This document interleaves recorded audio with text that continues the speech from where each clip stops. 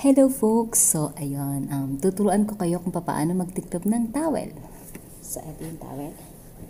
Pantayin niyo siya. Ayan. Tapos i-press niyo ng maayos.